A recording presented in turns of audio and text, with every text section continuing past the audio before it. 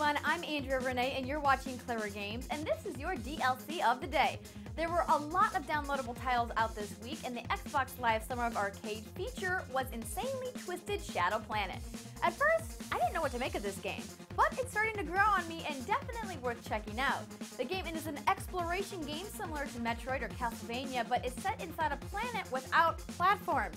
You cruise around in a spaceship with different types of extendable arms that can be upgraded by picking up power-ups.